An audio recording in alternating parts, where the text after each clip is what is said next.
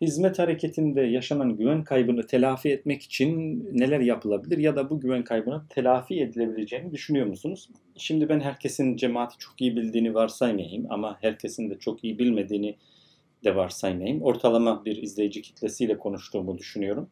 Ona göre konuşayım. Eğer bildikleriniz tekrarsa kusura bakmayın ama biraz da bu videolarda herkes bu Türkiye için önemli bu, bu konuya değişik bir pencereden bakmış olur diye düşünüyorum. O yüzden böyle yapıyorum zaten. Şimdi öncelikle cemaatin çok ciddi bir e, güven kredisi vardı. Yani tarihçesine baktığınız zaman bu yani gerçekten e, etle tırnakla kazanılmış bir kredi. Cemaat hiç olmadığı şekilde 1980'lerde 90'larda neredeyse Atina e, şehir devletlerinde yaşanan doğrudan demokrasi kavramına uygun bir şekilde sadece erkeklerin katıldığı manasında şimdi Atina demokrasisinde er, varlıklı mal sahibi erkekler doğrudan bütün siyasi politik olaylara müdahil olabiliyordu da o manada da benzetme oturdu diye biraz şey oldum da özellikle 1980'lerde kadınlar hizmet hareketine cemaatte e, işte yer bulma, bulmadığı dönemlerden bahsediyorum. Şöyle oluyordu. İnsanlar bir şehirde sohbet için bir araya geliyorlar. Bir sohbette bir araya geldikleri zaman sonra diyorlar ki işte ne yapalım sohbetten sonra bir dershane bir şey yapalım ama bu tartışma normalde işte sohbeti yapan hocanın dışında cereyan eden bir tartışmaydı. Zamanla işte insanlar okul yaptılar, dershane yaptılar.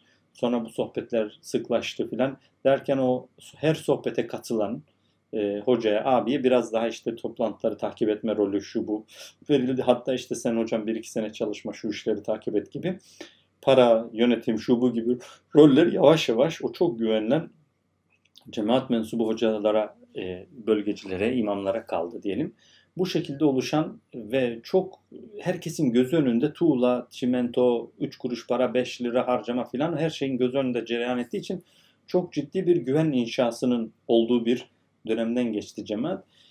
Bu dönemin akabinde e, tabii ki şey oldu. Ne oldu? Bu dönemin akabinde cemaat gitgide bir manada bürokratikleşti ve ciddi bir yani kendi kendine işleyen, bunu yapılmışsa kesin bir hikmeti vardır, söylenmişse kesin bir şey vardır. Bunu mutlaka düşünen eden vardır. Mutlaka her şeyinde bir hikmet vardır şeklinde herkesin %100 güvendiği bir e, kurum haline geldi. Karşılaştığınız her insan iyi, e, karşı, karşılaştığınız her insan iyi, e, işte iyi niyetli, e, gerçekten e, işte uğraşan, didinen insanlar filan. Bu manada hem bir yandan profesyonelleşti, daha da bu güven arttı hem de bir yandan bir manada bu Marx'ın söylediği gibi yani doğrudan hizmet hareketiyle onun mensuplar arasında biraz da mesafe oluşmaya başladı. Yani artık bir okul yapılırken tuğlasına, çimentosuna bakmak yerine bu okul için 2, 2 milyon lira lazım. 2 milyon lirayı nasıl toparlarız? Sen 3 lira verirsin ben 5 lira veririm gibi. Hani doğrudan diyelim para üzerinden bir ilişki kurulmaya başladı. Eskiden direkt doğrudan inşaat işçiliği, e, çimentosu, tuğlası, demiri yapması, etmesi filan gibi şeyleri bile aslında e, o, dönemin esnafları, mütevellileri yapıyordu. Bu ciddi bir güven accumulation, yani güven e, inşasına sebep oldu. Yani herkes her işte eliyle, ayağıyla, gözüyle, kulağıyla vardı. Bundan ötürü bir güven oluştu. Güvendiği insanlar devretti filan. Ama 15 Temmuz krizinde yani tabii ki cemaat çok daha büyüdü yani ama o 15 Temmuz e, krizinde şöyle bir şey ortaya çıktı. Pek çok insan cemaatin tam olarak neresinde olduğunu sorgulamaya başladı. Bu ne demek? Yani yani olan biten bir sürü şeyden haberim yok. Ben yani işte bu nasıl oldu, bu şu nasıl oldu, benim gözlemim bu. Yani değişik seviyelerde pek çok insanı gözlemlediğimi düşünüyorum. Pek çok insan acaba böyle ben tam olarak bu cemaatin karar alma mekanizmasında hiçbir etkisi olmayan bir adam mıyım? Yani hiçbir meseleden haberim yok. Nasıl oluyor bu filan şeklinde biraz e, bir güven krizi yaşadı. İşte bir sürü meseleden insanlar bilmiyor. İşte Baylok'tan, Bankasya'dan, şuradan, buradan, dünya kadar meseleden pek insanların haberi yok. Yani aşırı güven üzerine gidilmiş ve bunlar sıkıntı oluşmuş. Hatta işte ilk çıktığı zaman Baylok'la ilgili nasıl bir şey söylenecek dendiği zaman bugün birisi yazmıştı e, özelden. E, ben de hatırlıyorum o tartışmaları. İşte yani ne de olsa ellerinde hiçbir kanıt yok tarzı bir savunma yolu tercih edildi. Oysa iletişim hakkı kutsaldır İnsanlar gizli iletişim kurabilirler. Zaten Devletin sizin iletişiminizi bilme hakkı yoktur temelde. Kriptolu mesajlaşmanız hiçbir şey ifade etmez filan yani. Böyle bir e, bir savunma çizgisi belirlenebilirdi bugün daha çok söylendiği gibi ama ilk başlarda bilmiyorum hatırlar mısınız? Yok öyle bir şey baylok maylok tarzı bir şeye gidildi. Bundan ötürü bir e, sıkıntı oldu. Yani bu, bu karar nasıl alındı, kim aldı gibi meseleler. İşte zaten baylok kararını kim aldı gibi meseleler. Bu tartışmaların içerisinde ve bir parçası olmama gibi şeyler insanları bir ölçüde bu meselelere karşı e, neresinde olduğunu sorgular hale getirdi. Bir güven krizi ortaya çıkardı. Şimdi ben bu güven krizi ortaya çıkar dediğim zaman bunu hisseden işte tabii ki benim temas ettiğim, benim gözlemlediğim e, ve bu süreçte mağdur olmuş insanlar. Şimdi bunun tamamı böyle değil. İnsanların tamamı da böyle değil. Bunu da belki birkaç gruba bölerek belki hani insanlar bu süreçte nasıl etkilendiler? Sonuç olarak güvenleri arttı mı azaldı mı gibi bir şey söylemek mümkün. Bir işte bir sürü iş adamının malına mülküne el kondu. Bir sürü insan cemaat mensubiyetinden ötürü işinden gücünden atıldı. Sosyal haklarından mahrum edildi, mağdur edildi. Ee, bir sürü e, yani bu, bu, bu durumdaki yani bu da bir gözlem. Bu durumdaki mesela işte abilerinin ısrarıyla devlet memuru olmuş ama bu süreçte bir şekilde yurt dışına çıkmayı başarmış insanların bir kısmı mesela bunu kendilerine ikinci bir fırsat olarak gören dolayısıyla ben artık zaten hep yurt dışına hizmet etmek istiyordum. Bir daha memuriyete dönersem iki olsun filan diye bakan da var. Bundan kötü etkilenen işte vay haklarımızı geri alacağız, o görevlere geri döneceğiz diye düşünen bu şekilde motive olanlar da var. Yani durumu çok malını mülkünü kaybederek kötüleşmiş olanlar da var. Öte yandan diyelim Orta Asya'da, Afrika'da çok kötü şartlarda, çok zor şartlarda büyük fedakarlıklarla öğretmenlik yapan insanlar var. Bunların bir kısmı mesela bu süreçte pasaportlar bitmek üzereyken bir şekilde e, yine cemaatin yardımıyla yurt, yurt dışına özellikle batılı ülkelere gittiler. Orada iltica ettiler. Devlet onlara bir sahip çıktığı bir yer verdi. Batılı hayat standartlarında yani en düşük hayat standartı olsa yaşamaya başladılar. Bir manada bunu ilk söyleyen adamın tabiriyle söylüyorum. Hayatları upgrade oldu hizmet hareketine mensubiyetleri dolayısıyla. Bu çok e, yerinde bir şey olmayabilir ama doğrudan e, hapis, KHK, şu bu gibi bir şey görmediler. Mesela işte diyelim Afrika'da çalışırken birden e, İngiltere'ye tayini çıkmış gibi oldu adam. Hizmet hareketi onun gözlemlediği ve bilfiil yaşadığı noktadan bakınca çok ciddi bir e, şey değil. Biraz hatta e, bu süreç vesilesiyle durum iyileşti ve daha da iyileşebilir gibi bir şey var. Onun haricinde işte hala ailesi birleşememiş, gittiği yerde yeni problem, aile birleşim yapamamış. Yani gittiği yerde problem yaşamış, hayal kırıklığı yaşamış, gözlemlediği şeyleri kafasında oturtamamış. Yunanistan'da özellikle yaşanan çok ciddi travmalar var cemaatle ilgili, cemaatin kendi iç yapısıyla ilgili. Bunları zamanla duyacaksınızdır belki çünkü nihayetinde insanlar proses ediyorlar. Görüyorsunuz ben konuştuğum insanlarda yani e, okumuş yazmış insanlar ne olup ne bittiğini görüyorlar. Bunlar hemen e, yani hemen dile getirilmeyen şeyler ama böyle şeyler de var. Hiç etkili, çok fazla etkilenmemiş, çok minimal etkilenmiş bir grup insan da var. Yani böyle bu, bunlarla da e, karşılaştım. Böyle kötü niyetli olarak söylemiyorum. Bulunduğu ülkede böyle bir baskıyı hissetmeyen, hatta bu süreçte bir sürü e, yeni insan geldiği için orada yalnızlıktan kurtulan, durumları iyileşen, hizmetleri katlanan ülkeler, yerler falan da var. Dolayısıyla e, bir sürü şey var, e, grup var. Yani bu gruplarında kendi yaşadıkları, hmm, yani ben bir kısmını en azından cover ettiğimi düşünüyorum, anlattığımı düşünüyorum. Kendi yaşadıkları kriz ve hikaye ve tecrübe üzerinden cemaate güvenle ilgili bir iyileşme veya kötüleşme var kötüleşmenin biraz çok olduğunu söylemek mümkün. E, bu yani cemaatin felsefesine yönelik bir veya e, Fethullah Gülen'e yönelik bir e, problem olarak ortaya çıkmıyor onu söyleyeyim. Tam tersine cemaat işleyişi ve cemaat mekanizmaları, cemaat metotları ile ilgili şeyler var. Bunlar sağlıklı ve iyi gelişmeler olarak görüyorum.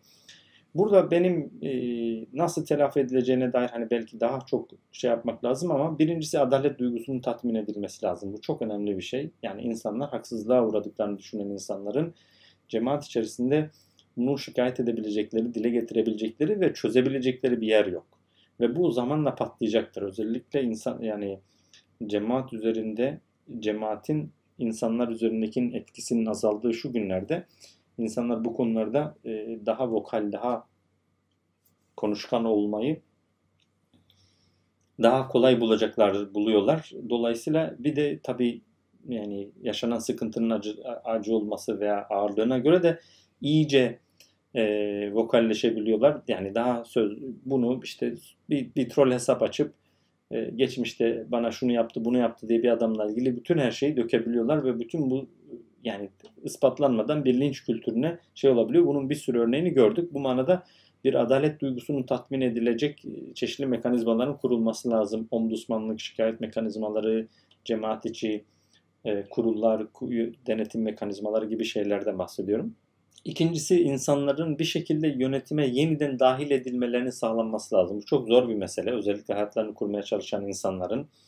Ve bir nebze de cemaatin ne yapacağı çok belli değil diye düşünen bundan ötürü e, kendince işte çok her kendinden başka veya tanıdığı bildiği insanlar herkese karşı eskiden hissettiği güven hissetmeyen adamların özellikle cemaat yönetimine tekrar dahil edilmeleri.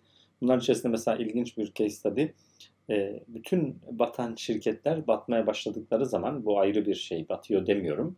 Ama şirketler adam azaltma eğilimine gittikleri zaman şöyle bir eğilim ortaya çıkar. İşte diyelim e, derler ki yani yukarıdan derler ki işte personeli %30 azaltalım. Azaltmaya aşağıya indiği zaman mesela ben kendi e, departmanımda çalışan insanların %30'unu çıkarmak zorunda kaldığım zaman o insanları tanıdığım için normalde en iyilerini tutup en kötülerini çıkarma yoluna gitmem gerekirken ya bunlara başka yerde iş bulmaları çok zor. Yaşlı, dul, şöyle böyle insanlar bunlar kalsın.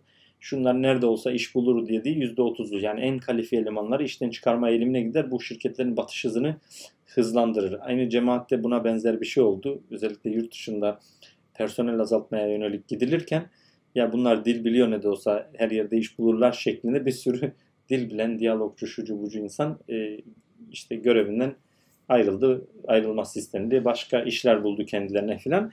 Şimdi bu adamların mesela yeniden sisteme dahil edilmesi için çeşitli çalışmalara şahit oldum. Çok mümkün olmadığını gördüm öyle söyleyeyim. Çünkü dediği gibi onlar gittiler başka yerde iş buldular ve cemaatle ilgili ilişkilerini daha sağlıklı, daha söz hakkı sahip, sahip olduklarını düşündükleri bir noktadan, daha veren noktasından yapmak istiyorlar. Bu da anlaşılabilir bir şey.